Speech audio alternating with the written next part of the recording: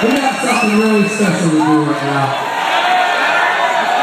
I want to bring out our friends from the Barroom Heroes. Come on out, little bastards.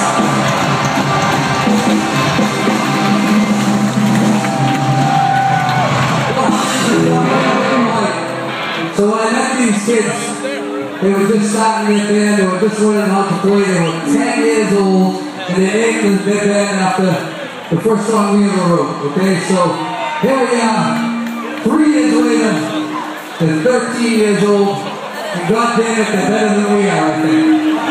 So we're gonna hang around a few more years, and once uh, we're ready to retire, we'll turn this whole operation over to these guys. So, we're gonna let them, uh, we're kind of like the Irish Menudo, you know, they want to keep passing it down. Anyway, without further ado, the Barroom Hero!